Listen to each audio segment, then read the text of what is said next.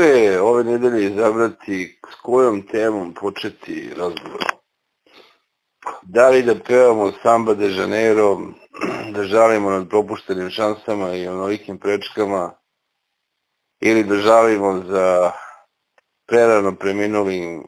vladikom Srpske pravoslavne crkve, nezvaničnom gej ikonom Srpske pravoslavne crkve i godišnjici njegove smrti. Ili možda da budemo srećni što je naš predsjednik ovaj, na grudi junačke našeg dragog komšije, brata i prijatelja Viktora Orbana, koji se zalaže za ovaj, prisjedinjenje davno izgubljenih ovaj, delova njegove velike kraljevine Mađarske, u kojim pripada naravno i dobar deo Srbije.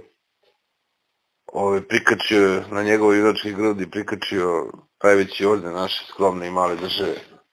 opet junačne i zahvaljujući našim dedovima slavom ovečane. Šta ti misliš dobri moj predraže? Pa, znaš šta, ajde, što ti kažeš, valjda je zahladilo malo, a s druge strane, e, koliko sam primetio danas čitajući novine, e, tačno je da je, bez obzira koliko e, ti i ja tu i ne spadamo, ali jeste ovo svetsko prvenstvo u futbalu malo ovaj zasenilo sve ostalo. Evo gledam na primjer sada pre dva minuta BBC-eve vesti gde je glavna vez da je Wales izgubio 2-0 od Irana, znači na BBC-u ozbiljnoj ovaj, kažem kući, a te kasnije idu vesti, ne znam nešto na Krimu da su pobijeni neki Iranci ili ne znam šta dalje. Znači ipak je taj futbal ovaj, u mnogim zemljama, pa ajde i kod nas ovaj, jako bitan. Ja se samo sećam pre jedno, ajde da te ne lažem, valjda dva prvenstva, na primjer, kad sam ja to pratio pre osam godina,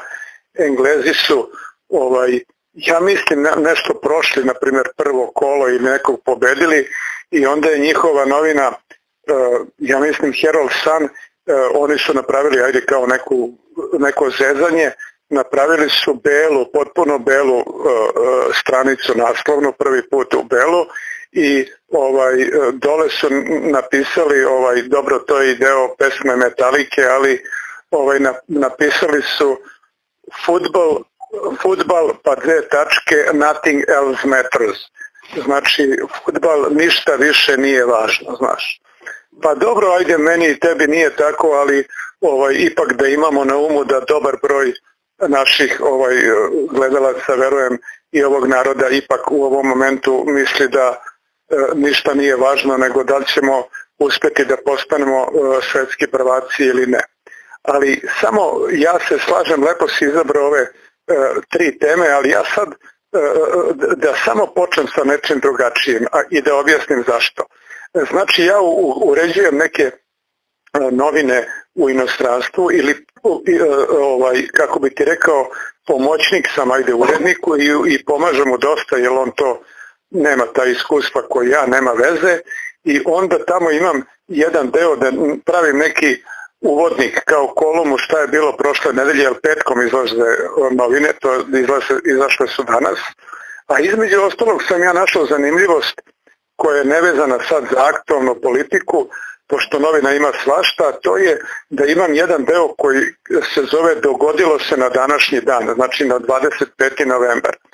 I onda ja odem tamo, sad na internetu imaš naravno to da vidiš šta se dogodilo, ali iz tih silnih događaja na današnji dan naravno ja izvučem one koje su vezane za Srbiju. Svaka čast, ajde ako je bila neka bitka u Francuskoj, Engleskoj ili ne znam Nemačkoj, neki referent ili šta je, ali ja uglavnom ajde izvučem ako ima, nema to baš svaki dan, nešto zanimljivo za Srbiju. I onda sam našao jednu vest ne, jedno, mislim jednu informaciju, a ako ti hoćeš ti to prokomentariši, jer ti o tome znaš bar deset puta više od mene. A to je da na današnji dan 915. godine e, Vrhovna komanda srpske vojske u Prvom svetskom ratu na čelu sa regentom Aleksandrom donela je odluku e, da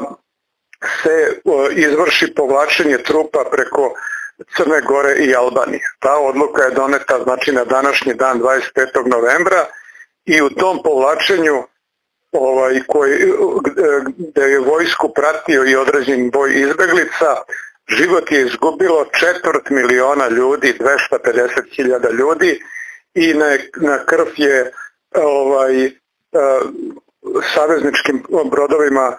ja mislim pre, ovaj prebačeno negde 135.000 ljudi, tako postoje podaci koji su je tako tamo oporavljeni i mnogi su i tamo umrli od posljedica povlačenja. I onda ovaj, kad gledaš sada daleko bilo, kad ti sad procenjuješ srpske bitke od, od, od koliko pamtimo istoriju pa do današnjih dana, ovaj, ako i ovo računamo kao neku, ajde ne, da ne kažem bitku, ali neku, neku akciju ili e,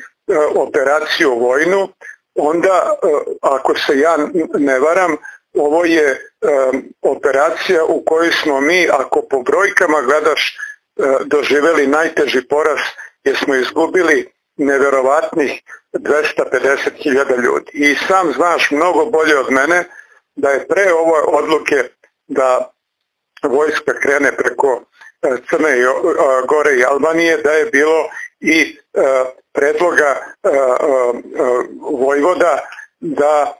se to ne radi i da se drugačije to reši, ali eto nije. Tako da je zanimljivo eto da je taj dan danas. A još bih rekao, kad sam to gledao, meni neku zanimljivost, pa hoću o tome da kažem, a ti slobodno kaži ako sam to malo prolupao, Isto na ovaj 25. novembar, sad ja odem, znaš, ono Google pa pogledam šta se desilo, vrlo zanimljivo u dve e, godine jedna do druge, 69. i 70. su se dogodili manje značajni događaji, ali ipak su zapisani, kako bi rekao, istoriju. Znači, 69. E, čuveni član, jel tako, Beatlesa, valda najpoznatiji John Lennon, je e, vratio ovaj kraljici Elizabeti nedavno preminuloj e, ovaj e, jedno od najvećih titula koje se daju da kažem umetnicima a to je titula reda Britanske imperije. On je to dobio ja mislim 3-4 godine pre toga i on je to protestno vratio zbog toga što je Velika Britanija davala podršku Americi u ratu protiv Vijetnama, a usput i tad je e, Britanija pobila neke silne crnce u provinciji, mislim Biafri. Sljedeće godine, znači 70. na drugom kraju sveta, potpuno, je tako, apsolutno potpuno na drugom e, kraju sveta, u Japanu je japanski pisac Yukiro e, Mishima izvršio ritualno samoubistvo ili kako se to zove harikiri, u znak protesta zbog westernizacije Japana. I onda je po meni onako lepo, bez obzira ajde sad što, što Englezi i Japanci da se sad s njima ne bavimo, ali lepo je ovako ljudski gledati, vidjeti da neko e, koji je u nekoj zemlji bilo kojoj posto slavan, da kao pisac ili muzičar ili glumac ili ne znam šta, u jednom momentu odluči da iskoristi tu da kažem to što je poznat ili popularan, ne znam kako da kažem, pa da e, nekako razmrda taj narod svoj e, i da im ukaže na to, evo, to je verovatno uspešno uradio i John Lennon e, zato što je jako popularan da kaže stante ljudi ovaj zašto mi podržavamo da, da Amerika ubija ovaj narod s druge strane sveta po ovim džunglama i isto tako ovaj, verujem da je ovaj Japanac poznati e, književnik koji je tako surovo e, samoubistvom Harikirijem e, opomenuo taj narod tamo da ne trebaju da počnu odmah da nose farmerke da jedu McDonald's ili ne znam šta, nego da zadrže svoju tradiciju. Onda sam se ja setio, pa mi palo na pamet, a da li mi iz naše prošlosti možemo da se setimo e, nekog e, sličnog primjera, da je znači neko koji je ovdje kod nas bio neko ime koji je bio e, popularan, pa je usto u ovoj žabokrečini u kojoj mi živimo da podigne glas i da na neko ukaže. I što je najzanimljivije, kazat ću primjer, bilo je takvi, ali za razliku od John Lennona i ovoga, ajde zaboravimo ovog Japanca Yukiro Mishima, je se, se zove da li smo mi imali nekog koji je bar pokušao nešto tako da uradi? Imali smo, ali rekao za razliku od ovog Japanca i ovog Engleza koji su evo danas kad gledaš koja je bila to 60. godina, znači 70 godina posle toga pamti se, pamti se, ostalo je zabeleženo za sva vremena, verovatno u biografiji tog pisca koji je, koji je umro i ovog John Lennona koji je umro, svaka njihova biografija i najkraća koja se piše po Wikileaksima je ostaće i to. I taj potez koji su radili, znači što kaže njegoš blago tome kod dovijeka živi imao se rašta i roditi. I oni su nešto učinili da vječna luča, vječne pomračine, svjetlost ne izgubi u tim njihovim životima. I šta sam se onda ja setio? Onda sam se ja setio i sad, izvini, ja zaboravi kad je to bilo e, da 19. Znači pre tri godine mi smo ovdje imali događaj da su e, da je e, bila velika grandiozna svečanost koju je organizovala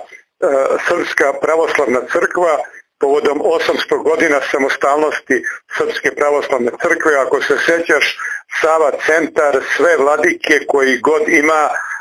ovaj, ipak su oni se, to je, dešava se jednom u generaciji, jel tako, da ti imaš tako veliku svečanost 800 godina samostalnosti crkvene. I onda su ti, da kažem, oci crkveni, najpametniji i tako dalje, odlučili da dva čoveka koji će da održe govor tamo na tom mestu budu, ajde, po njihovim kriterijumima e, najveći intelektualci, najpametniji ljudi koji imamo i oni su izabrali tada e, akademika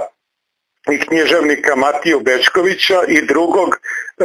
Milu Lompara, ja ne znam ko njega možda ne zna koliko i Matije Bečkovića, ali Miro Lompar je srpski istoričar e, književnosti, filozof, profesor na filozofskom fakultetu i predsjednik je zadužbine Miloša Crnjanskog e, i, e, ovaj, i oni su izabrali njih dvojicu da oni održe govore na tih 800 godina. I ja sad, kako bi rekao, mogu da se, reci mi slobodno, ako ja to nekad prolupam, ali ja ponekad pomislim Evo, na primjer, za tog Miro Lompara, koji je toliko stvari, ili Matio Bečkovića, koji je učinio nešto i ostavio iza sebe i njemu, i njemu bi e, e, jednog dana, e, kad se pišu njegove biografije, sigurno stajao i jedan red u kome bi se reklo da je Miro Lompar imao tu čast da je govorio na 800 godina ovaj, e, na proslavi 800 godina samostalnosti Srpske pravoslavne crkve. Mislim da je to ipak jedno ogromno priznanje koje bi im e, dopunilo onu, kako bi ti rekao, biografiju koju su imali i obavezno bi bili tamo. I njih dvojica, ako se sećaš, su obojica odbili da održe govore E, na toj centralnoj prostavi u znak protesta zato što su ovi naglo odlučili da uz to prikače i da se da orden Svetog Save prvog stepena Aleksandru Vučiću, predsjedniku Srbije. E sada, dobro, Bože me oprosti, nisu se ubili, nisu su nešto odbili, ali opet su učinili nešto isto koliko, ko, koji onaj Japanac i koji onaj John Lennon. Ali gdje je bitna razlika? Bitna razlika je da smo to mi zaboravili. Masovno zaboravili, sve je to prekrio ovaj Rozmarin snjegovi šaš, što bi rekao ovaj Bregović, ali evo kod one dvojice se pamti. Kod onih se pamti i, i stavljeno je tamo na njihov dogodilo se na današnji dan. Eto to meni ovako pokazuje kakav smo mi narod i šta mi ovdje radimo, kako mi to brzo zaboravljamo ili kako medija to e, pravi e, da se brzo zaboravi. Eto, to sam teo da kažem jedino pre nego što krenemo na, ovo, na ovu e, temu meni zanimljivu o vladici Jeronimu kome je bila godišnica, jel ti imaš sada ovaj možda volje želje ili smatra za neko drugo vreme da prokomentarišeš to da je na današnji dan doneta odluka da se srpska vojska preko vrleti Crne Gore i Albanije ovaj povuče na Krit. Znači, to, zahtjeva jednu malo ozbiljniju emisiju i neke ozbiljnije goste koji mogu da se pozabaviti time. Ono što jeste velika i slavna pobjeda ovoga naroda se je vojnički gledano, nažalost, e, etnički i da tako kažemo s aspekta same genetske strukture naroda, to je, mi se još uvijek nismo uporavili od tog gubitka, to je trećina stanovništva, više od polovine muškog stanovništva, nama se genetika strašno promenila od onda i ovaj cvet e, ovog naroda je nažalost ostavio svoje kosti od e, Mačka preko Bregalnice, Kumanova pa kako se zove do Kajmakčalana. I ovaj, da bismo se usjedinili sa nekom braćom koja nisu ni htjela da, da se mi sjedinimo sa njima i da bi kasnije rezultat toga bio više od 2 miliona e, žrtava u jednom ratu i posle toga još nekoliko stotina hiljada i e, više miliona raseljenih u drugom ratu. Tako da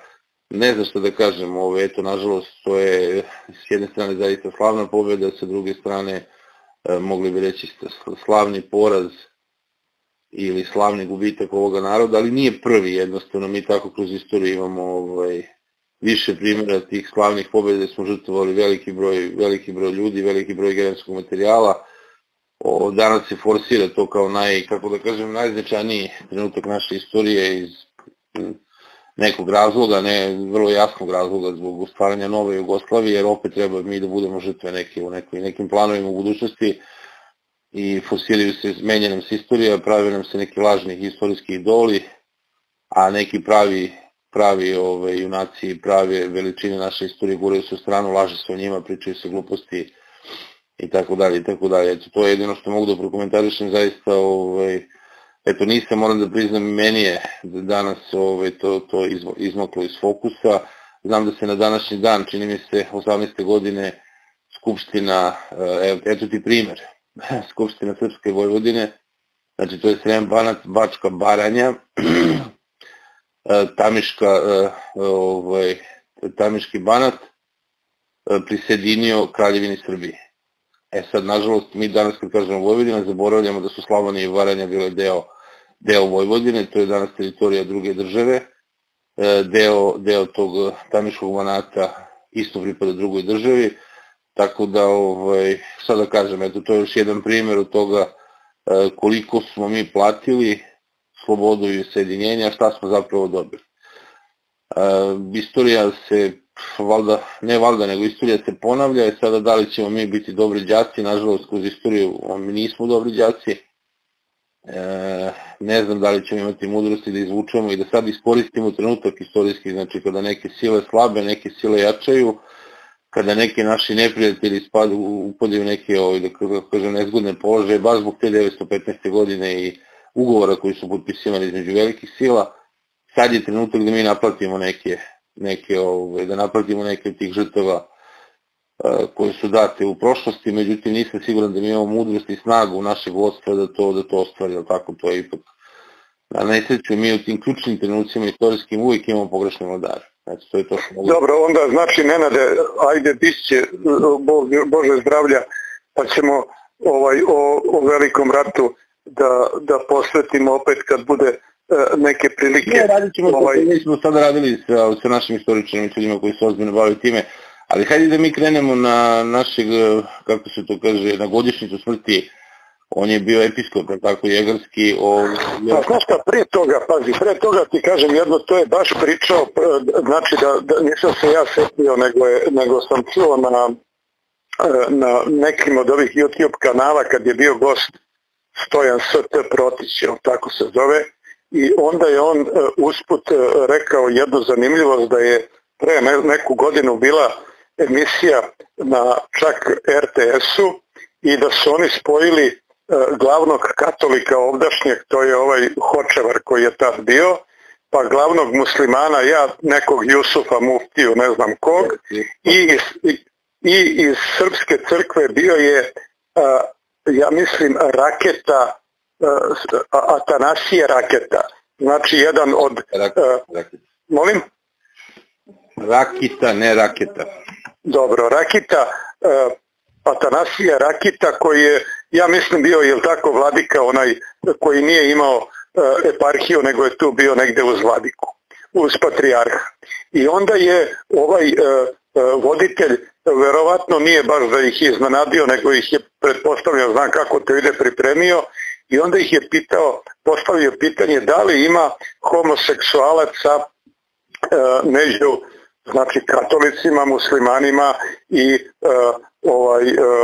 pravoslavnim u znači sveštenstvu. I onda se prvi javio ovaj e, e, Hočevar koji je onako dosta ovako spretno i lepo rekao da rimokatolička crkva u celom svetu pa je udario neku cifru, ajde sad da, ja ne lupam, da ima zvanično par stotina hiljada, oni su inače zvanično i najveća, kako bi rekao, organizacija na svetu. Ja mislim da imaju negde 300-400 hiljada ovih u celom svetu e, tih fratara svojih i ovih, e, kako se zove, biskupa, E, i, i svih tih ostalih. I on je dosta ovako lepo i smireno rekao slušajte među tih 300.000 ljudi nemoguće je da nema i homoseksualaca i ludaka i lopova i kriminalaca. Ovaj i samo on, je sad rekao da uh, on smatra da je to u jako malom broju ali da ih ima ima ih. Onda je javio se kao drugi ovaj Jusuf E, Spasić ili kako se zove i on je to rekao jedno te isto, on je fino rekao da vera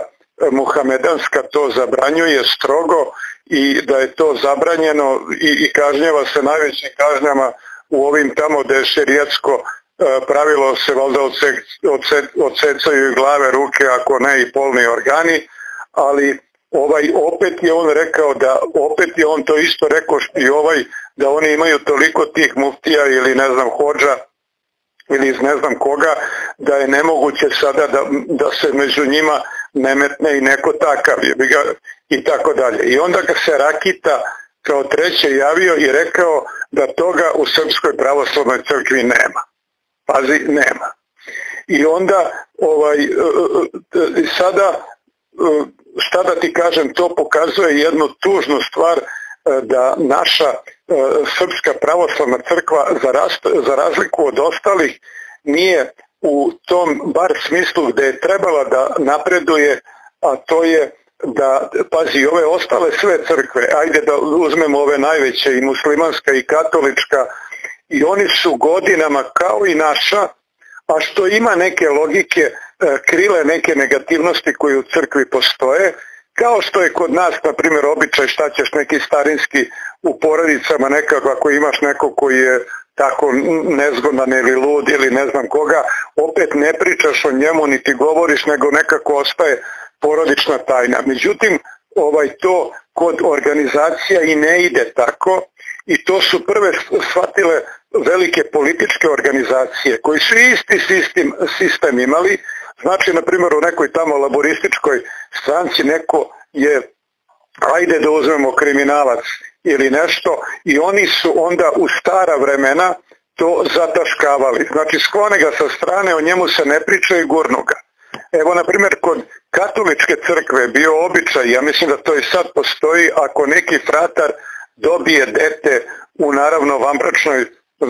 vezi sa nekom švalerkom, oni su imali uigran e, mehanizam da sad to dete otklone od ovog, da ga stave tamo negde na vaspitanje, a ovog negde da gurnu u čošak, ali sve da se ništa ne zna. Međutim, ovi političari su shvatili e,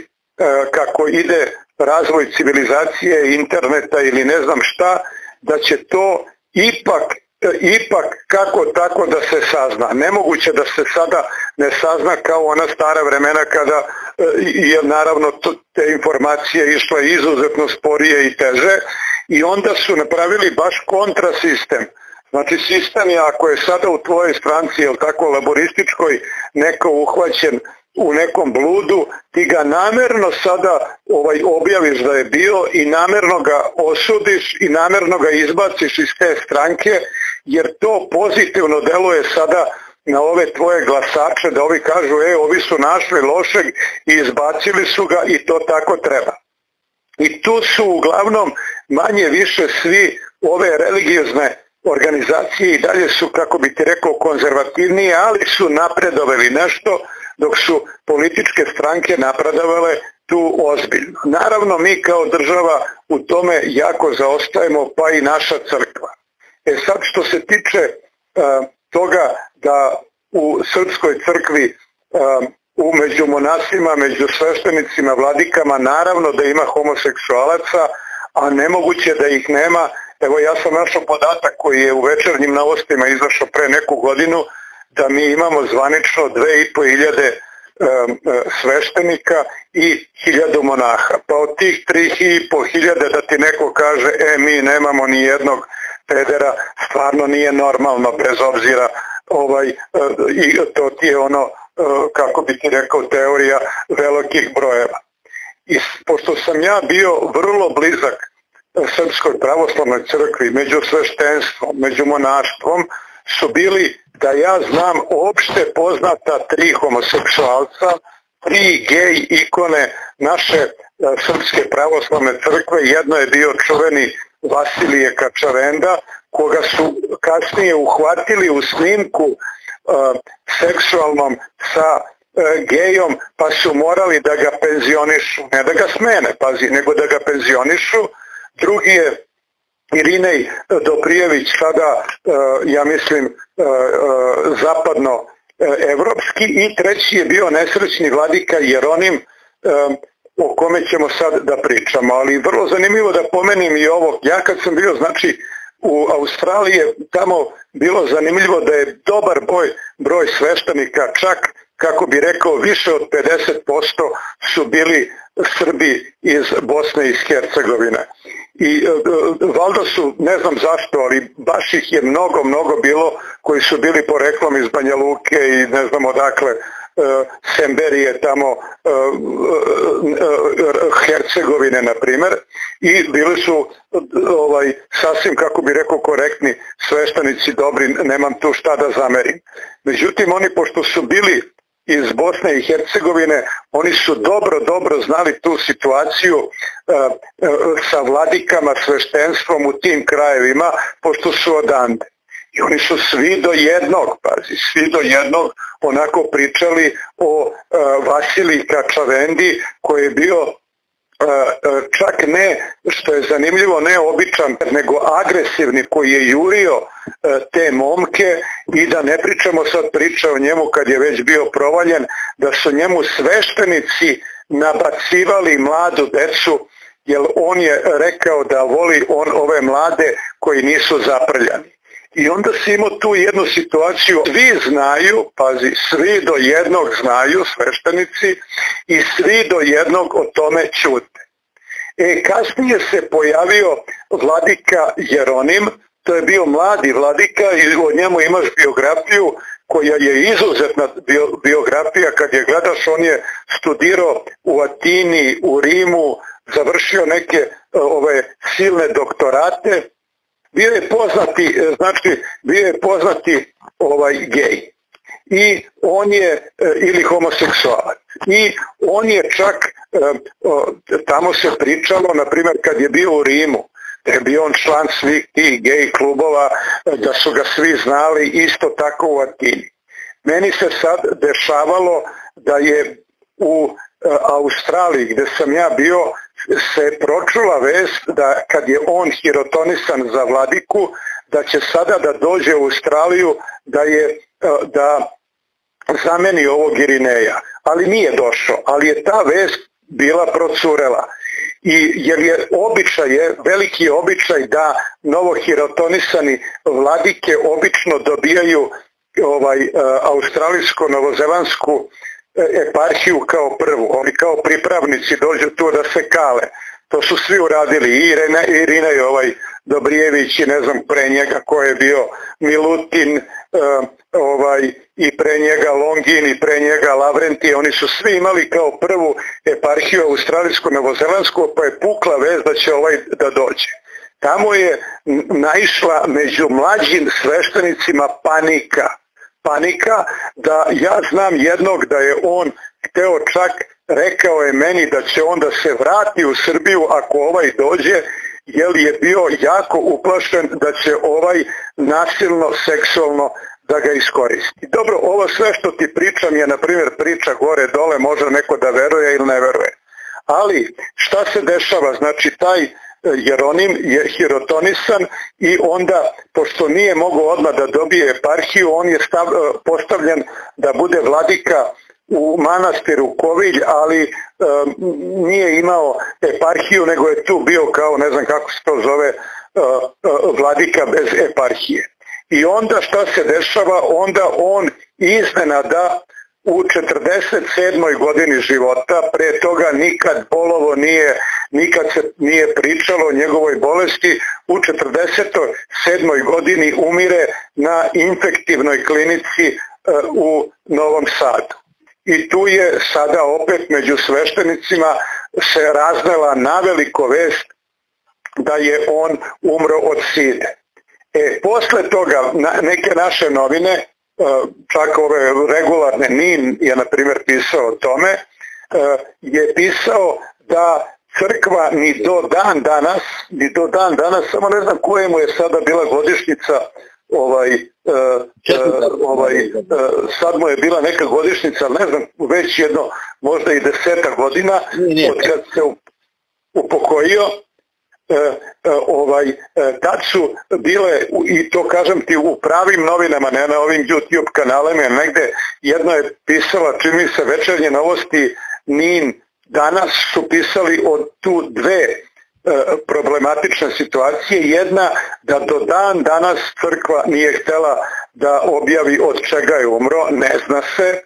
nisu dali onu autopsiju, kako se zove, da se provari od čega je umro i drugo, imaš dva, tri teksta o tome da je njegova majka, je li on bio sin jedinac,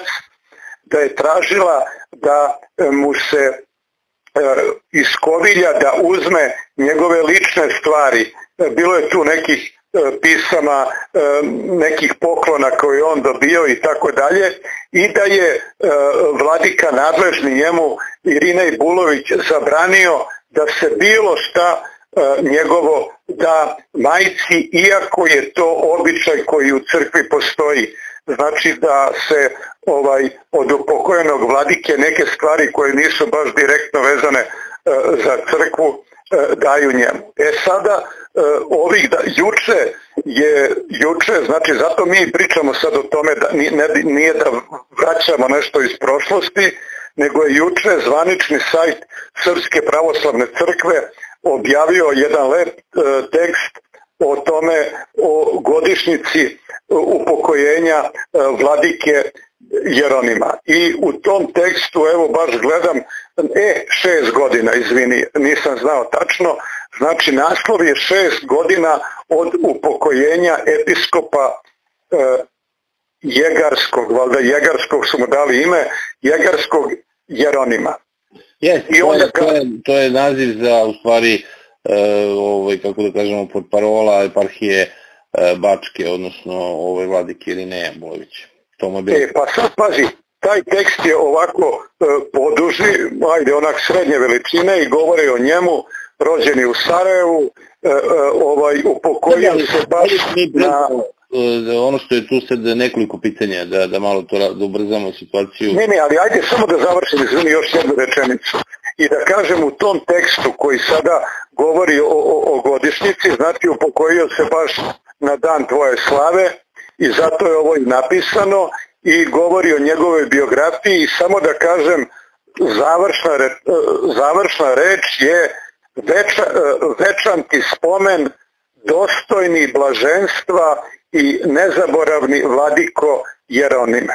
To je zadnja reč. I onda e, sada, e, Bože me oprosti, e, nije ni Jeronim sad toliko bitan ni kao vladika ako ćemo tačno, nego je bitan taj princip koji ostaje da Srpska pravoslavna crkva nema tu hrabrost da neke e, e, negativnosti koji se javljaju u crkvi, ali one moraju da se javlja, pa ne možeš ti da očekuješ da tako velika organizacija kao što je crkva koja ima 40 eparhija u, u, zemlji i inostranstvu i 60 um, ili 50 vladika i, i hiljade sveštenika da bude savršena i onda e, bi po meni e, trebalo da crkva ne na neki napadački način ili ne znam šta, ali da ipak te negativnosti e, u sebi pokaže da bi, da bi sa rezultatom da bi bilo bolje. Da bi bilo bolje da, da pokazivanjem nečeg što ne valja da pokaže da se to ne ponavlja a ne da gura đubre pod tepih Jer znaš kako kaže narod, kad guraš đubre po tepih, onda se napravi ovaj, kao gomila, pa kad prođeš razbiješ glavu. I zato je meni ovaj e, kažem ovo e, ovo saopštenje e, zamisli ti sad ti govoriš o tome da je se pre sedam godina upokojio vladika, a ne kažeš od čega je umro. Zamisli umro u 47. godini, pa znam ipak, pazi, kad čitaš ti da je bilo ko umro u 47. godini, da li komšija, ako ti umro komšija u 47. godini, ili, ti je, ili je umro neki sportista ili ne znam ko, prvo pitanje je ipak od čega, Ako je umro u 87. 8. ovaj, ne daj Bože ili malo ranije, onda znaš što kažu naši cigani da je umro od smrta ali ovde se i ne pominje uzrok njegove smrti. Tako da eto, zato mi je zanimljivo sve to. Pa to u stvari zapravo pokreće više pitanja. Prvo da ti kažem, apropo one priče kad si rekao da su tri crkvene velikodostojnika na mesto i da je naravno taj Rakita nesretni ovo, ispo najgluplji u društvu, pa to je, tu bi ja samo dao jedan kratak komentar, to je vrlo prosto, znaš, nekada se, zašto je naša vojska u ovim ratovima prošla onako kako je prošla, E, zašto naša crkva danas prolazi onako prolazi? Pa i razlog je isti. U oba slučaja si ti birao decu e, jednostavno koje su prosto bile iz nekih siromašnijih sredina i onda si gurao, a ne pretredno talentovana za sve te poslove, onda si gurao e, ili u crkvu ili si gurao ovaj, u vojsku i policiju naravno, ovaj, po onom famoznom ključu I zato smo imali jednostavno te neke bukve koji su postali generali ili viši oficiri koji su se u ratovima ovo ovaj 90. godina poneli kako su se poneli. I sad je situacija sa sveštenstvom, znaš, e, ovaj, malo ko je tu zaista otišao jer želi da se uzdigne sa verom ovaj, i da sebi podari neki višnji život, nego su prosto išli u crkvu po onoj ne ide narodu popoje da se spase nego da se napase i zato mi imamo toliku količinu jednostavno ove vladika iz ruralnih krajeva, ja sam jedan dobar deo njih i upoznao, zaista jesu sirovine kao što je taj gore pomenuti, pa nije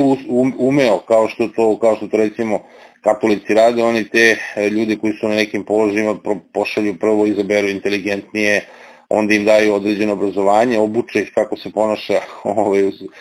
u različitim okolnostima i sredinama i onda ih pošalju na televiziju. I zato oni kada sednu jedni pored drugog, jednostavno ti imaš ovog, da kažemo mi to narodski rečeno prema zanka koji će ovog da prevesla vrlo lako, jer ovo je sirovina jedna koja misli da je sve što kaže da je poslišao svu pamet sveta i da jednostavno nema potrebe da bude sam obrazovan, pametan i elokventan, nego jednostavno misli da to tako treba, jer je na položaju i računa će položaj da ga brani. Tako da to je generalno, a to se sada proširilo u društvu u celini, zato imamo ovo sve što imamo jednostavno. Ali opet da pominjem, e, to je prvo se odrazilo u vojsci u crkvi. To je ono što vidimo, znači 90. godine se to najbolje videlo u jednoj i drugoj organizaciji. To je jedan problem. Drugi problem kada se radio, kada se e, radi u vladici Jeronimu, to je upravo ta priča e, niko njemu ne spočitava, kao što se sam rekao i tu se slažemo, znači u toj masi ljudi mora postojati raznih orijentacija, ubeđenja i tako dalje, ali problem cijela priča nastaje upravo u tome, znači prvo ako si već bio aktivni homoseksualac, ako si poznat i po tome je bio poznat i Latini, tamo čak stoji ovaj, fusnota, kao ti si rekao i u Rimu, ovaj, onda nemoj da kriješ. Onda nemoj da budeš licemeran i nemoj da ideš i propovedaš nešto sasvim drugo i da ne znam osuđuješ nekog drugog, nego jednostavno kada se šeta, onda iz, iz, izvoli druže pa izađe šetaj sa ostalim pripadnicima gej populacije. Znači, ili se skloni, ili ovaj, im se pridruži, a nemoj da budeš na onoj radikalnoj strani, e to je sad sledeće pitanje, ovo što si sam rekao, to što crkva krije, znači jednostavno to se ne može sakriti, jer više niko nije blesao, znači znaju se uh, ko su, znači i ko su ovaj, fanarijalci u našim redovima, ko su deklarisani homoseksualci, ko su, ne znam, ono, atlantisti, uh, ko su papisti i tako dalje i tako dalje. I sve vreme crkva zapravo sve to krije, pokriva, prave se ludi, prave se nevešti i jednostavno nama je sve gore i gore. I zato dolazimo u tu situaciju, ja vidim i po raspoloženju i među narodom, znači i među vernicima, a Bogom i među sveštenstvom, da ljudi su sve, kako da kažem, sve zgroženi, zgroženi, zato što upravo, kao što sam rekao, ta grba postaje sve veća i veća. Pa bože moj, ako je mogla katolička crkva, koja je onako naj, dosta rigidna organizacija i koja je, kako sam rekao, jedna od najvećih organizacija na planeti, i entitet sam za sebe, na kraju krajeva, mogla da izađe da kaže, eto jeste, mi imamo ovaj, i, i sveštenike Svalere i sveštenike Geove i ne znam sveštenike ovakve i onakve, pa mislim ja ne vidim zašto to ne bi mogla i Srpska pravoslavna crkva, pogotovo što su uvijek o tome priča, jer upravo da bi glasine, da bi glasine suzbio, onda izađeš i kažeš kako jeste, a ne da se pravimo mutavi i da jednostavno slavimo, sam si rekao, znači, e, vladiku i odnosno e, proglašavati ga za služio blaženstvo i tako dalje, ne, nije, sami tim što je bio licemeren, sami tim što je, ajde da ne da budemo onako E, banalni lagao, jednostavno nije. Ali tako, ja mislim da je jedna od onih zapovesti deset, ja ne znam, ne, skoro sam čuo pa kaže pa ti deset zapovesti nisu sveto pismo. A sad ja ne znam, meni to malo čudna izjava, ali nebitno, ovaj, mislim da jedna od njih jeste da ne treba govoriti krivo, ne treba, ne treba krasti, ne treba ubijati i tako dalje. Tako da to je sama ta priča upravo zašto smo i mi uzeli da malo popričamo njoj zbog e, mnoštva pitanja koje se otvaraju i koje proizilaze iz cele te teme i ovaj, mislim da zaista je vreme da polako sad, pogotovo u ovoj situaciji, da nešto se konkretno uradi, jednostavno da, da se malo počnemo da gledamo da pratimo, da pratimo, da pratimo vreme i da pratimo tokove vremena, sam si rekao, znači informacije jako brzo e, cure, informacije jako brzo se menjaju, mogu da se šire, jednostavno nije, teško je to sakriti znaš, zaista je teško sakriti. I dobro, pa šta sad, ne kažem da treba uvesti novotarije tipa game i ostalo, ali jednostavno treba priznati prosto da takvi ljudi postoje ovaj, i u crkvi kao što postoje u društvu, kao što postoje bilo gde i jednostavno kako da kažem, ne, ne, ne osuđivati pomoći na neki način na koji ovaj, im je pomoć potrebna, ali u svakom slučaju ne treba kriti jer prosto na taj način se ugrožavaju samim tim skrivanjem i tom, tim licemerjem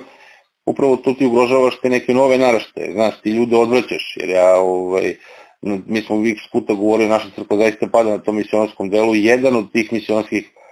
ovaj, delova je bilo upravo i to. Izađeš pošteno, kažeš ja sam to i to, što, što oni kažu, kako kažu ovaj, englezi, izaći iz ormara,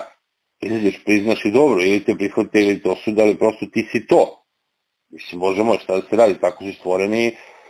to je što je, mislim, kao, znaš, ono, ja ne vidim ništa loše u tome da oni to rode, ali pričati,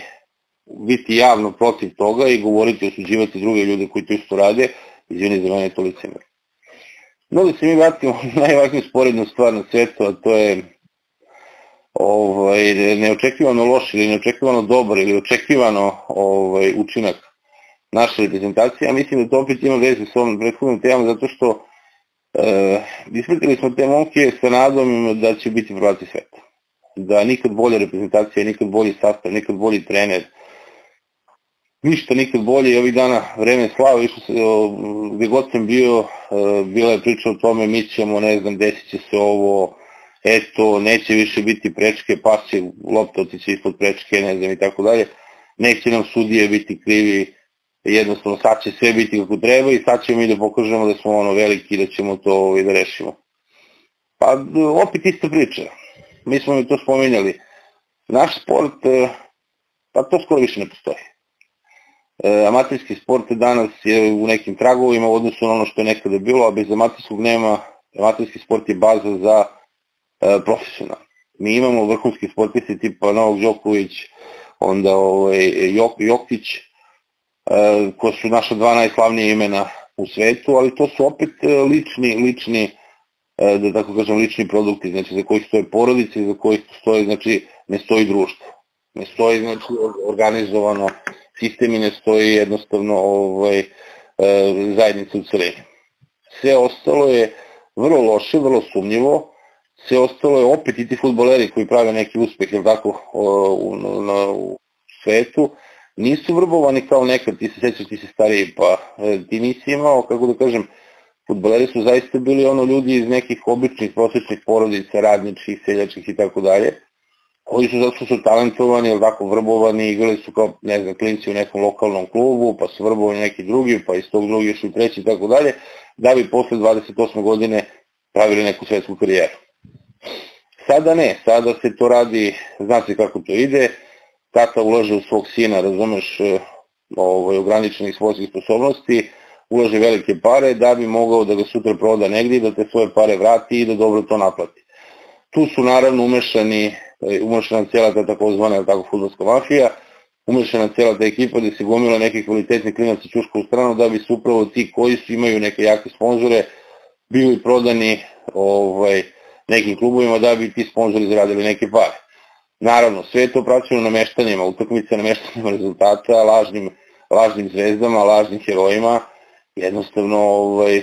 i to se na kraju rezultuje tako što naše klubove ako odu, to smo ti ja pričali, znači tuku ih neki malteški ovaj, vratari, ne znam, e,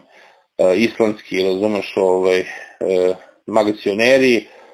francuski vozači, sobarici i tako dalje, mislim, znači kogod dovati jednostavno gde god se pojavimo, kogod nas dovati ono, ono na šamara, mislim, to sad više postoje stvarno sramote, jednostavno i bruka slati te klubove preko, Nažalost, više to nije situacija samo u futbolu, vidimo da to sad polako je i u vaterpolu, i u košarci, rukometu, odbojci, znači ponegde nam se desi sporadično neki uspeh, ali generalno nema sistema koji to podržava i koji to radi. Uh, ovaj, I jednostavno ja ne vidim budućnost da će biti svetla. Ono što sam ja od početka govorio, obzirom da smo sa šiptarima u grupi, ovaj, jedini problem, a ono što nam sinoć govori, to je popili smo dva komada od Brazila,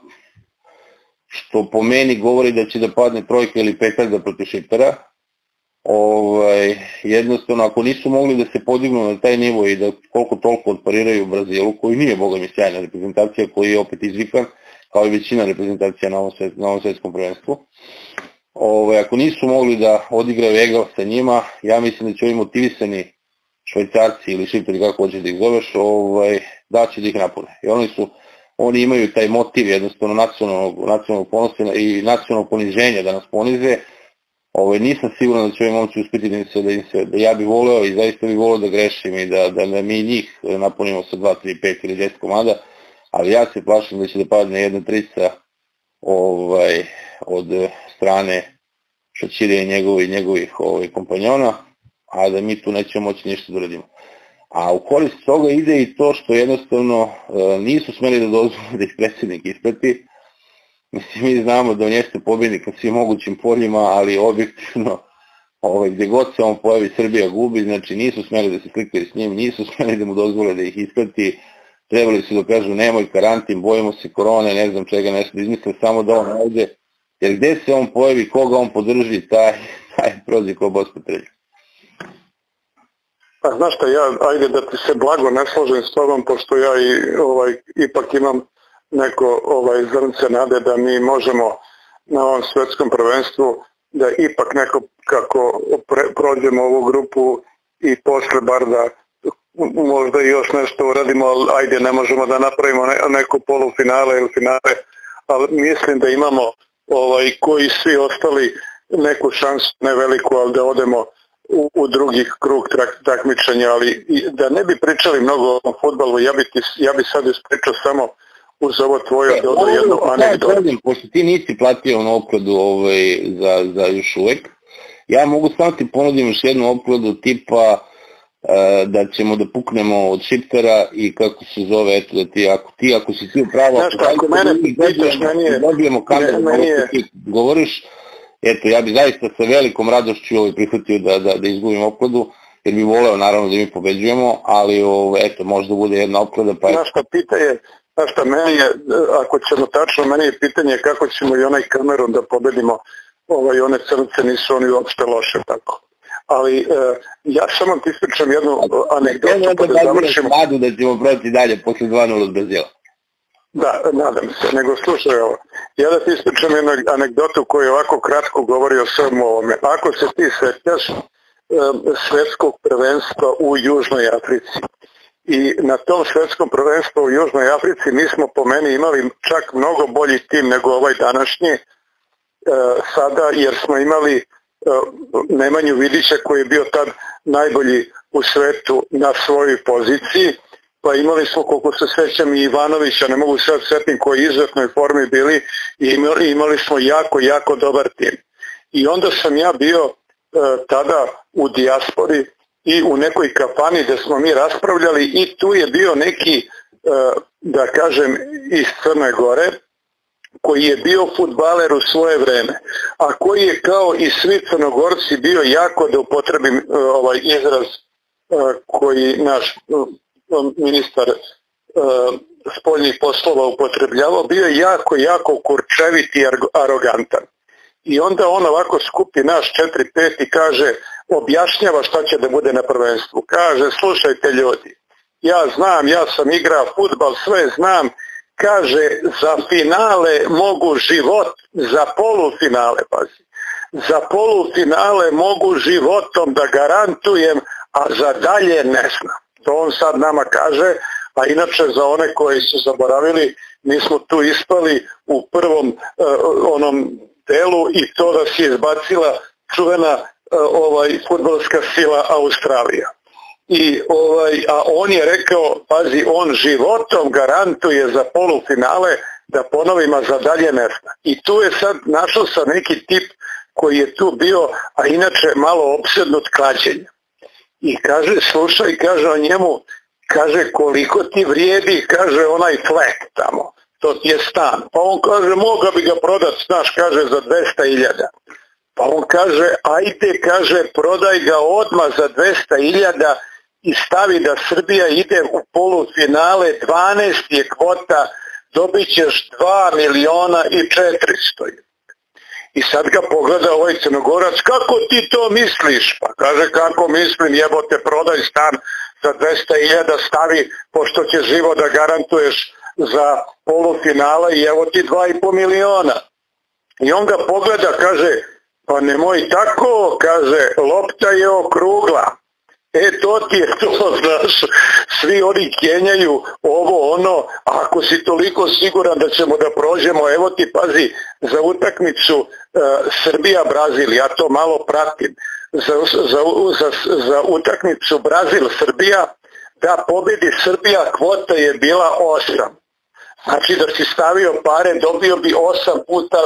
više. E sada da ti ja objasnim, na primjer, veličinu tu kvote 8, to ti je ista kvota kao ovde, na primjer, da Zvezda igra sa Surdulicom u Beogradu. E, da pobedi Surdulica, e, ta kvota je otprilike čak i manje od 8, 6. Znači kvota 8 e, e, se smatra za veliko iznenađenje. E sad pazi, kvota je na Saudijskoj Arabiji bila 23 da pobedi Argentinu, pa pobedi. Ali opet te e, po meni kladionice su uvek naj, naj, najrealnije i onda ako te zanima sad kad igramo sa Kamerunom ili kad igramo sa Švajcarcem, odeš na primjer na bilo koji tamo Mozart ili ne znam Max Bet, pogledaš ovaj, koje su kvote i tu ti je jasno, tu nema, kod tih kvota nema osjećanja, nema emocija, nema ničega, nego kad su, što bi rekao naš narod, da ne budem vulgaran, tamo gde se pare broje i gaće skidaju nema zezanja i zato ovi što ne bi ni zarađivale i tolke pare i ne bi imale tolike kladionice po, po Beogradu više nego pekara da to pare ne donosi. Tako da to je jedna surova ovaj, e, kako bi ti rekao činjenica da tu mi nismo neki favoriti, ali što opet kaže onaj volimo da se kurčimo, ali to nam je to Ne treba to ni zameriti, nije to ni bitno, nego samo da ne zaboravim. Sad spomenuo si po meni zanimljivu stvar da nam je najveći prijatelj koga imamo politički Orban, uh, je tako stavio šal na kome se vidi uh, velika Mađarska koja pripada veliki deo Vojvodine i veliki deo Bosne i to one gde, Srbi žive. ali po meni ja ne bi ovde sad uopšte ni govorio Orbanu, nego bi rekao jednu drugu stvar, pa onda ti prokomentariši. Meni je tu zanimljivo da spojim te tri ličnosti Orbana, majku našu Markel i oca našeg Erdogana. I sada ti kad gledaš izjave AV predsjednika našeg, onda možda i, kad, na primjer, ako se sećaš, dolazi nam Orban, mi ga dočekujemo maksimalno sa turskim zastavama, ako se sećaš, on ide u pazar, tamo e, hiljade onih turskih zastava sa polumesecom, on nam je najveći prijatelj, gospođa njegova sa gospođom e, Vučić se sastaje, znači većeg prijatelja nemamo. Onda ako se sećaš da je Mar Markel navodno rekla Vučiću zovi me u sred noći, u ponoći, ja sam tu za tebe i on je govorio da je to naša najveća prijateljica evropska, a za ovog Orbana da, to je brat veći od rođenog brata. I onda sada kad to, a kad uzmeš činjenice da je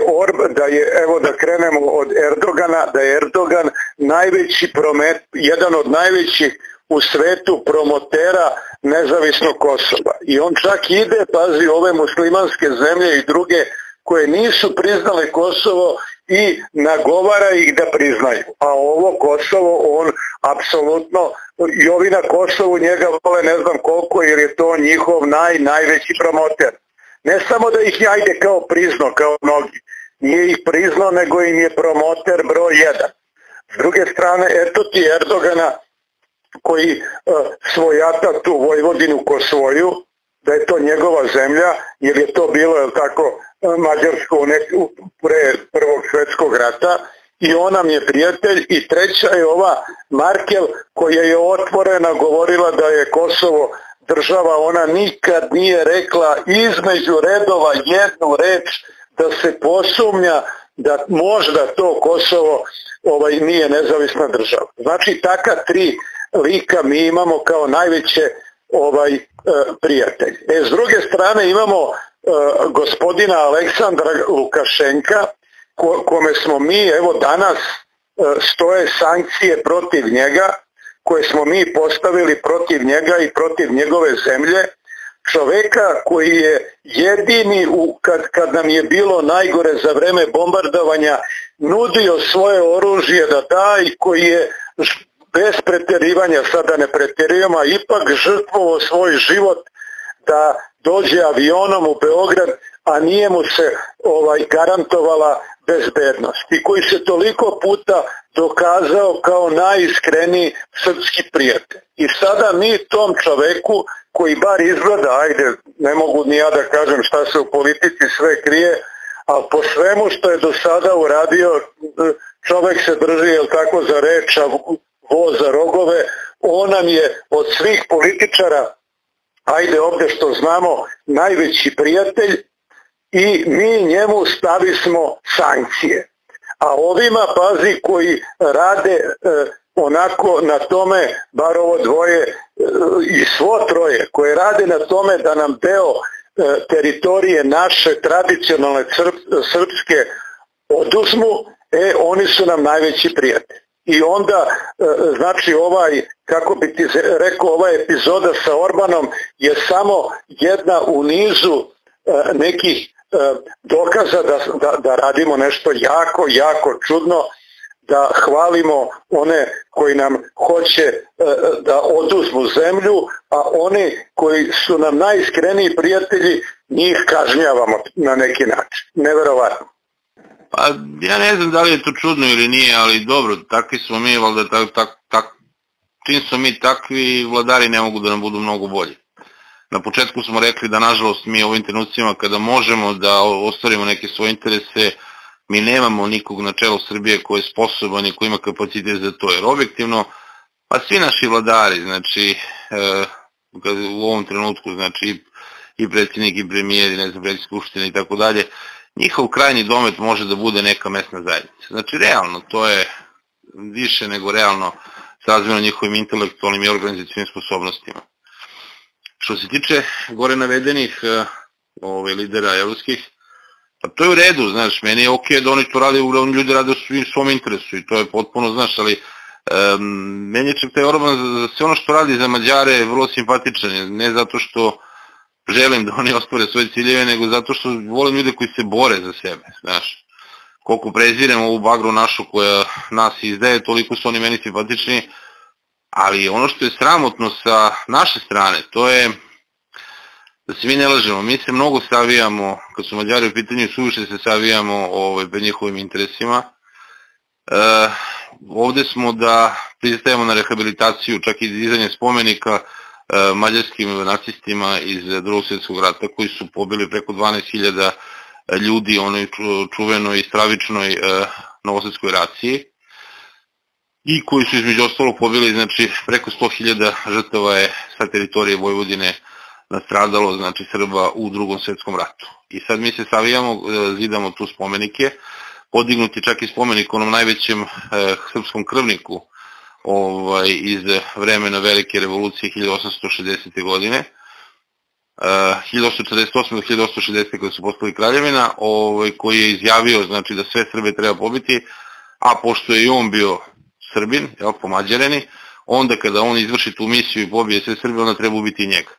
Eto tako u jednom liku smo mi podigli spomenik, opet kažem diže se, diže se i radi se naša država aktivno učestvuje u tome da se rehabilituju znači nacisti i ubice dece, znači jevreja, Roma, Srba uh, iz drugog svjetskog rata, što je, stravično. Uh, stalno se taj, uh, stalno se, kako da kažem, spomen na tu raciju prevodi na onaj na Dunavski kej gde to nije bilo,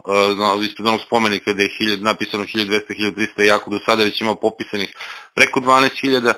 znači jednostavno, meni smeta što se mi previše savijamo. Dati uh, najveći orden ove države, čoveku koji je, znači, otvoreni nacionaliste koji se otvoreno zalaže za širenje, jel tako, ovaj, svoje zemlje na uštad naše teritorije, ja ne znam kako to nazvati. Znači, mislim, treba biti dobro odnosima sa našim susedima, E, treba biti dobro, do dobrim odnosima sa komšijama, ima, svugdje ima dobrih ljudi, ali jednostavno baš se savijati toliko to više nije ni pristojno, ne da je odvratno, ne da je izdajnički, ne da je omalovažavajuće, nego stvarno više nije, nije ni pristojno, prosto je ne, nepristojno gledati, ovaj, ja sam lično svojim očima vidio, čak i na snimku imam ovaj, snimljen spomenik na Kosovu kada sam bio, znači, spomenik mađarskom Janjošu Hunediju, heroju, koji je pobednik kosovskog boja iz 15. veka ovaj, koji se odigrao, znači, i gde nema spomena uopšte o kosovskom boju koje iz 1389. koje je vodila srpska vojska protiv, protiv ovaj, osmanskih ili turskih osvajača, kako već voliš. Znači, sramotno je. Mi to sve podržavamo, mi to sve znamo, jednostavno i opet čutimo i opet mu dati taj orden. E, možda je to način da se ovaj, on izvene za neki E, kako da kažem, zato što su mu leteli malo u teren, pošto Orban pomaže svoj, svoj narod ovde, što Srbi ne rade, ali tako mi ne pomažemo naš narod u dijaspori bilo gde, adekvatno. Oni to rade e, dosta dobro, e, jednostavno daju ovde ovaj, kredite, daju, pomažu ljudima, daju im papire, bore se za njih, ako nešto zatreba, nekome možda se obrati svoj matici državi, matici država mu izlazi susret, znači čak ima i ona čuvena, čuvena kako bi ti rekao, anegdota,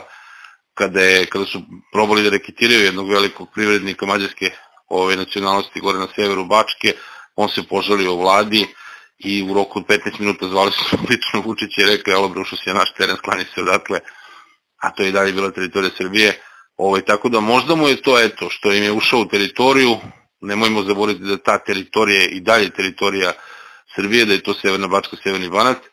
Znači možda je to način da se on malo ošlikta, da se možda malo okaje, ja ne znam, možda zbog one gluposti, mi smo pričali o tome, ali tako gde, gde su gde čak i ovaj,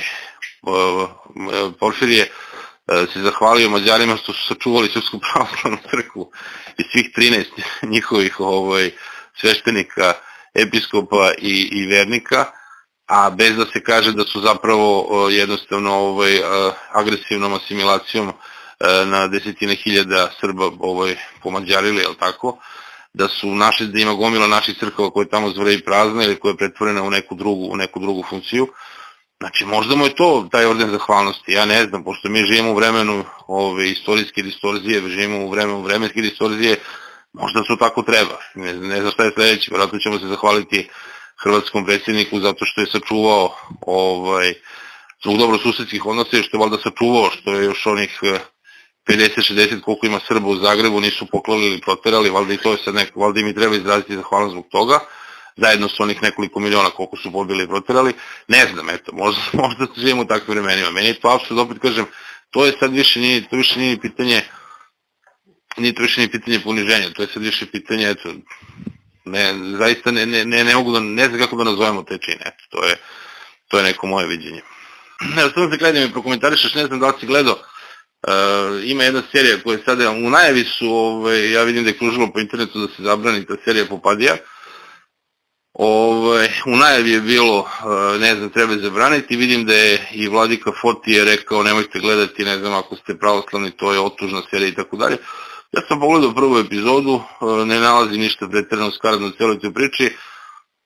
gluma jeste loša sada tu ne tehnički gledano moglo dalje moglo bolje nije moglo to se to sada ne ulazimo u to ali jednostavno mislim da je to uh, jedan, kako da kažem, jedna, jedna slika naših društva. Mislim, sve ono što oni pisali do sada u prvoj epizodi, mislim da sasvim odgovara mentalitetu ovaj, vremena i prostoru u kome se nalazimo. Ovaj, čak taj sveštenik nije, kako da kažem, nije prikazan nešto ovaj, u negativnom svetlu. Bože moj, to da mu je žena influencerka i tako dalje, pa sad pazi, mi imamo popove koji su snimali porniće, imamo popove koji su, mislim, ono što su mi pričali o temi ovaj, malo pre, tako da ne znam da li je potrebno zaista zabraniti tu seriju, ili je potrebno nešto drugo, evo gledamo naše susede Hrvate, kod njih se u skoro svakom od tih sitkoma ili svakom od tih ovaj, TV novela pojavljuje neki sveštenik, ali jednostavno zanimljivo da je tamo uloga sveštenika ili svećenika ili častnog je uvek jedna pozitivna uloga. On je taj koji širi ljubav, on je taj koji spaja ljude, on je taj koji miri, on je taj koji ovaj, je zapravo glavni ultimativni pozitivac. Znaš, možda, bi, možda bi trebalo u našim ovaj, serijama budućim, ili tako se pozabaviti s time, da probamo da, da malo eto, te neke nacionalne vrednosti ipak ne pokazujemo, kako da kažem, ne prikazujemo u nekom pretredno lošem svetlu. Možda je, ali opet ja mislim da je to deo, deo ovaj, same institucije crkve da malo porodi misionarski na tome da jednostavno podrži, podrži ovaj, snimanje neke tako zanimljive, eto umesto što brane ovu, hajde podržite, imate dovoljno para da isfinansirate neku lepu seriju koja neće biti kao Nemanjić i da neće ono da ide da piške sve neke bitke i tako dalje. Ovaj, hajde da jednostavno, ovaj, što crkva ne bi snimala neku seriju? Mislim da bi to bilo super, mislim da bi se našla gomila ljudi koji bi rado priskočilo u pomoć, koji bi rado pomogli i mislim da bi mogli da napravimo neku, neku, neku dobru priču. Tako da, možda je... Znaš šta, ti malo si naivan, prvo, valjda znaš da je crkva izuzetno teška na pare. Baš sam pre neki dan čitao da su oni u prošloj godini, čini mi se, uzeli nekih 400.000 e, evra samo od e, toga što je što su mili hidroelektrane građane na crkvenom zemljištu negde tamo u Ovčarsko-Kalabarskoj e,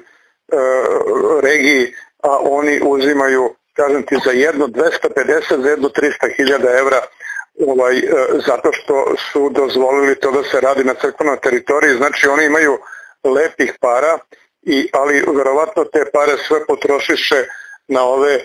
kuhinje i što daju sirotinji pa vero, verujem zbog toga nije ostalo e, da se možda isfinansira neka iz serije. Ali ja mislim da je ovaj da ne, ne, ne bih teo da upotrebim uh, uh, grub izraz glup,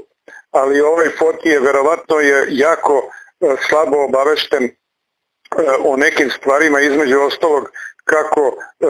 deluje medija i o tom medijskom svetu, jer on je napisao, ajde ti da opet obavestimo e, čitaoce, slušaoce, ti uvek malo zaboraviš, misliš da svi sve slušaju i sve, i sve znaju, znači ja mislim da ja tu dam taj kratak uvod, znači popularna ovde valjda e,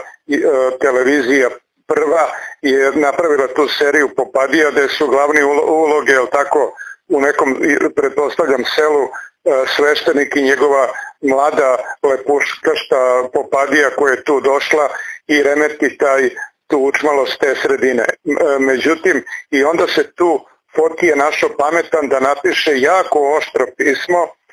u kome je rekao da je to bogohulno, pazi da je bogohulno i da to narod ne, ne treba da gleda zato što se tu huli na Boga i na crkvu. I sada e, ja ti garantujem, pazi to sam proučavao, novinar sam bio, bavio se time, ja ti garantujem da bolju reklamu za Popadiju on nije mogao da napravi. I onaj koji nije gledao Popadiju sad će da ode da pogleda e, tu seriju. Tako da taj način da ti napljuješ neku seriju i da kažeš da se ne gleda, to je kontraefekt. Evo ti primer kada je Mel Gibson napravio čuveni e, film Passion of, Jesus, valjda strasti e, Isusove, taj film je onako krenuo srednje, ovaj,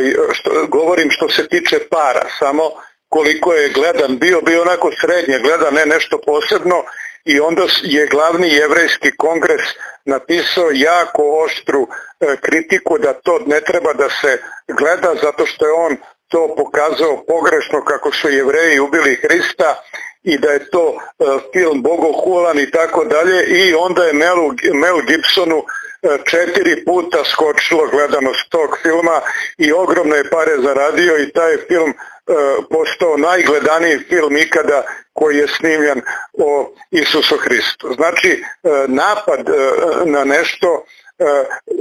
donosi taj efekt u stvari da to promovišeš. A opet ako nađeš nekog iskusnog ovaj koji se bavi tom medijom ili čak psihijatrijom, on će da ti kaže da je na takve stvari najbolji odgovor bar što se medije tiče ignorisanje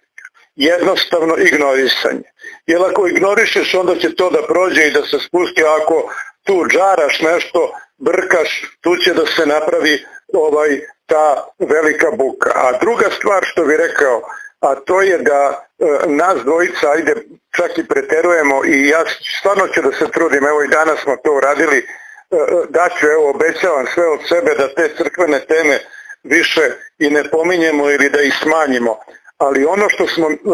nas dvojica kod crkve u stvari najviše kritikovali kao i danas, a to je što o mnogim stvarima čute. Ako se sećaš, mi smo imali slučaj da svuda piše u novinama, pazi u tabloidima, na YouTube-u se pojavljuju dve pijane monakinje koje sa harmonikašem zajedno pevaju pesmu koktel ljubavi na e, proslavi e, prvog rođendana u Gornjem Milanovcu sa velikim blještavim u pozadini onim panom HPP u Birkgau. I onda vidiš dve monakinje koje su u, u, ovaj, u svojim onim mantijama u, kao monakinje pevaju pesmu Baje, kako se zove, koja govori o ljubavi u, troj, u trojku. I tako ide tekst o tome. E sada, na taj, na taj po meni skandal, na taj skandal niko, niko i niko iz crkve nije reagovao. Nije reagovao da osudi, da kaže to ne treba,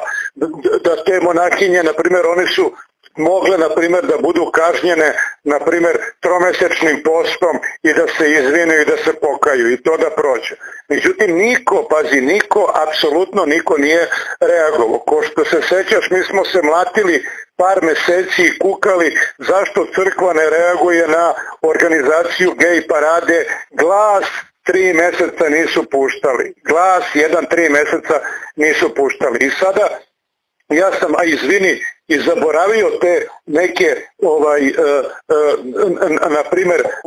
neprijatne situacije koje se u crkvi dešavaju koje jednostavno crkva prećuti. Apsolutno prećuti ko da ih nema. E u takvoj situaciji sad se Fotije javlja zbog serije popadijanja. Pa da mu neko kaže stani bre, gde si bio kad su one pijane monakinje pevale? Gde si ti kada onaj ludak ćelavi iz Jagodine donosi kamen za koga tvrdi da je gađan Hristos? Pa gde si da kaže stani bre, nije to tačno, to je bogohuljenje, ovaj, to tako ne ide. Međutim, oni tako prečutkuju tako neke stvari koje su po meni daleko, daleko značajnije od neke serije popadija gde se čak na neki što ti kažeš umereno šaljiv način o tome govori, a po meni vidiš u toj, e,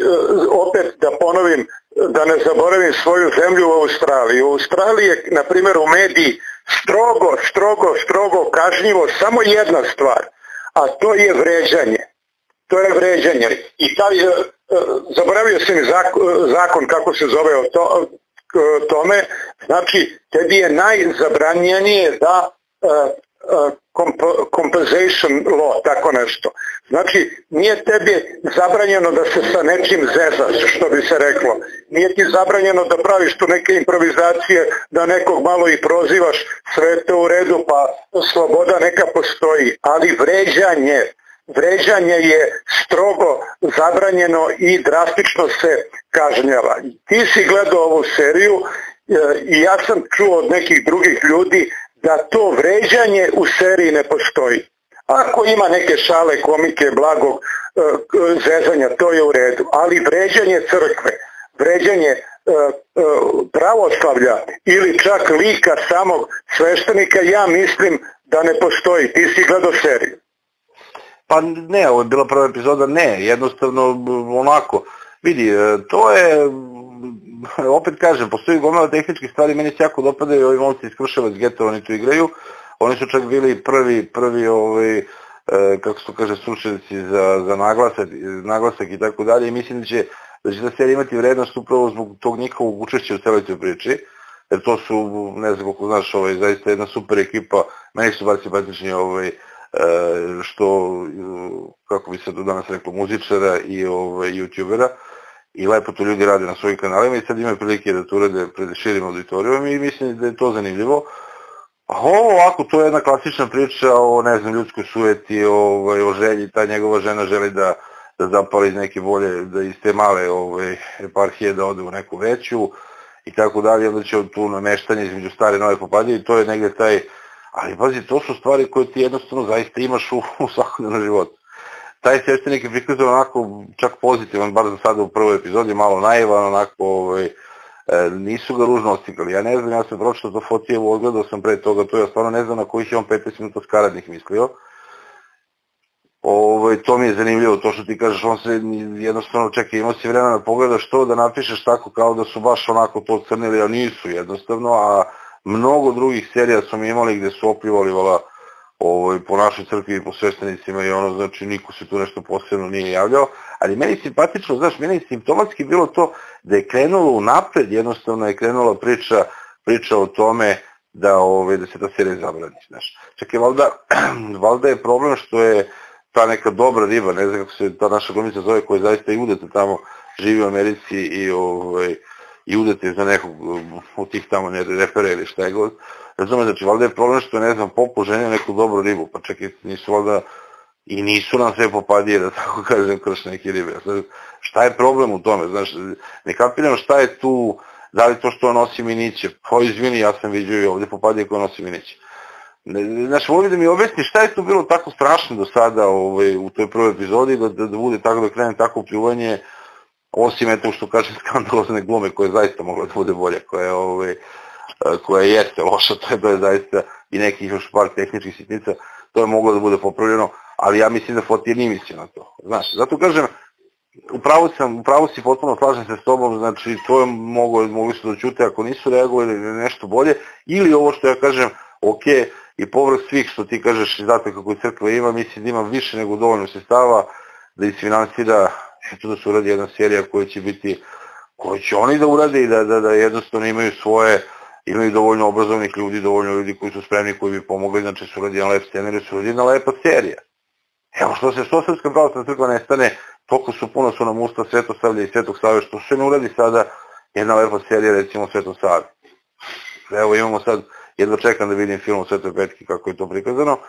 ali evo zašto ne bi radili recimo film o Svetom Save. Eto nek to uradi Srpska pravoslavna crkva. Ja ću ga rado odgledati i, prokomentarisati i podržati naravno tako nešto. Znači, neko rade u kralju Milutinu, svetom kralju Milutinu. Nek, znači, mi imamo dovoljno, dovoljno zanimljivu istoriju, dovoljno zanimljivih ljudi, svetaca, svetitelja, evo ti, neka bude, evo ti i svetog Nikolaja, ovaj, Žičkog i Ohridskog, o, on, je, recimo da kažeš ono savremenik, to mogu da naprave neku priču o tome, znaš, ali jednostavno neće to da rade, ne bave se, ne bave se, neće da, da, da instruiraju, znači, i da insistiraju na tome da se lik sveštenika, kažem opet kao što se kod naših suseda uvijek da se u svakoj od serija pojavi sveštenik koji će biti pozitivan lik. Razumeš, znači ne radi ništa na tome, ali zato kad se uradi serija bez da je odgledaju, bez da im daju šansu da imamo kako će to sve biti prikazano, jednostavno kreće privlačina kao da su radili nešto ne znam kako loše. A mnogo gorih stvari u našem društvu jednostavno sam si rekao se ovaj, prikazuje, dobro si me posetio u tom famoznom kamenu koji je Palma i onaj njegov nesjetnik, nesjetni potrčko ovaj, koji je ovde ambasador, ambasador ovaj, Hilandara, izlazi lupetak koji kakve gluposti, da, to je baš taj, jedan od onih pet kamera, to je me neko na plaži prodao i rekao je to je Mića to. Znaš, mislim, znaš, to je meni gora stvar, to je meni gora blamaža nego ne znam kako, nego tri ovakve serije popadija, ovaj, koje su, koje su, kako se zove, koje su prikazane. Eto, to je, ne znam, zaista, ali eto, ja želim eh, da verujem da će to ipak da se desi i da ćemo jednom ipak imati aktivnu tu misionarsku ulogu i da će neko da zaista stane i da uradi kako treba i da, ovaj, da se prosto ponosimo nekom serijom o nekoj našoj istorijskoj ličnosti koji će Srpska pravoslavna crkva da uzme, da uzme aktivno učešće, mislim, bilo bi u redu. Na kraju to imamo, imamo zaista par serija da su sveštenici lepo prikazani i u tako selo Gori Baba se češljani u ovaj sveštenik, onda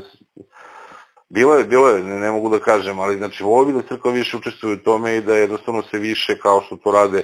neke druge crkve, da se više ulaže u to, da se snimaju dokumentarne emisije. To, to naša crkva može da uradi. Evo, to je jedan predlog. Pa sad ko to sluša, ovaj, neka prenese tamo gde treba, zašto da ne? Mislim da to nije, nije nešto pretrano skupo, nije nešto što crkva ne može sebi da dopusti kad već mogu da štampaju da dele ovaj, ordenje šakom i kapom, pa barem jedan deo tih ovaj, fonda koji za to ordenje neka, neka preusmere na kulturu i jačanje, jačanje ove reči i misli e, i dela naših svetitelja i mislim da će svima nama biti bolje. Nenade, evo, raspričao smo se danas, a ja bih završio samo sa jednom rečenicom, jer nekako smo počeli sa futbalom koji je sad uh, uh, naj aktuelniji, pa samo jednu rečenicu da završim opet sa futbalom, da budemo, jel tako, i mi u trendu ovaj e, tabloida svih, e, pa čitam ti iz jednih od novina e, koji kažu sada izveštaj sa svetskog prvenstva, tamo je u počasnoj najskupljoj loži, jel tako, koja postoji, bio, bili su Ivica Dačić, SNS, SPS, biznismeni, sa sekretaricama. To je bila ekipa koja je tamo bila. E sad ovaj ovde kaže, a izvinjavam se ja, futbal e, godinama ne pratim zato što sam bio odaljen, ali ovaj je naveo ljude kojih nije bilo tamo i koji su ospali kući, a koji su možda i trebali da budu tamo, pa ih je naveo Vidić, Pantelić, Žigić, Duljaj, Saša Ilić, Bata Mirković, njih nije bilo, ali tu je bio uh, ovaj u odelu, jel tako sređeni fin Ivica Dačić sa kolegama, tajkunima, biznismenima SNS, SPS, naravno sa pratećim sekretaricama. Eto, to sve govori. Vidi, da ti kažem, to što je e, nije Duč daleko bilo, što je Dačić išao, ovaj, to ja podržavam, i to treba tako jednostavno, ovaj, on je sigurno išao pesmom da zabavi svoje kolege iz diplomatskog kora i da zabavi naše ovaj, futbolere, ako već nisu mogli da vode odavde živo muziku. Da, da, a i znate orijentalne pesme, znaš, to je da, dobro za Katar, pa i Omer beže i to je. Trebali se Maja Gojković da povedu, ona voli da se oblači u njihovu narodnu nošnju, tako da, znaš, zamisli Maju koja se šeta one burke ili kako se to zove, i ovaj, Dačića koji pored nje peva Osmana ga ili tako nešto, moje kuje konja po mesecu, razumeš,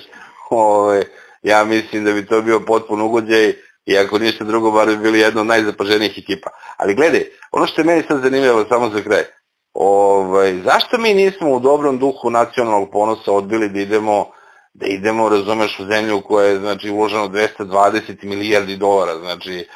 da se to tamo, da se to tamo odigra koja pritom je u svakom slučaju jedan od financijera financijera ovaj, islamizma po svetu, radikalnog islamizma po svetu, I što mi to u dobrom duhu, kako se zove nacionalnog ponosa, nismo odbili da odemo tamo. Eto, to je recimo... Još ja da ti odgovaram, pazi, meni je jedan... Onako, baš, baš bi mi bila cool gesta, ja bih rekao bravo. Ne, samo nešto da ti ja kažem odgovor na ovo pitanje, a možeš i da ga isečeš. Kada je pre jedno dve godine, ako se sećaš, tad je ministar spornih poslova bio Dačić, pa ga je onda Vučić šutno i dao mu da bude predsednik Skupštine što je ipak jedan pad, bez obzira koliko ovi sad pričaju da je predsednik Skupštine ne znam koliko bitan, ali ipak ministar inostavnih poslova je faca. I onda je jedan moj prijatelj rekao, a on je jedan od novih koji iz nekih razloga ne voli Dačića, on mi je rekao, ovaj, kaže, slušaj, onaj Dačić bi pres, pristao da mu je Vučić dao da bude i Baba Sera u Skupštini. Baba Sera, za objašnjenje naših ljudi, to je gospođa koja, je tako, u pojedinim kafanama, to se sad izgubilo, sedi ispred klozeta i naplaćuje ovaj, za toalet papir. I ovaj, lepo je on to rekao, Dačić je taka ljiga e, da bi to sigurno e, pristao, ali mi kao država smo taka ljiga da sam ja siguran da je svetsko prvenstvo na neku trik napravljeno sa Amerikancima na Kosovu da bi išli da igramo. Ja u to ne sumljam. Pa znaš šta, ja bih samo evo za kraj dao ovaj, još jednu temu za razmišljanje našim slušalcima, u ovom slučaju ove, gledalcima, a to je, e, razmislite malo da u prvoj utakmici e, Saudijska Arabija pobeđuje Argentinu. Argentina je važila za najvećih favorita, a Saudijska Arabija je u svakom slučaju najveći financijer radikalnog, radikalnog islama u svetu. I sad je to vrlo zanimljivo, ja tu vidim simboliku i ovaj, nekako mi Messi koji je zaista jedan ozbiljan faci i ozbiljan igrač, da padne u depresiju baš od Saudija Arabijica, to mi je prosto nevjerovatno. E, drugo, još jedna sitnica, uvek bude jedna do dva, e, maksimum tri iznenađenja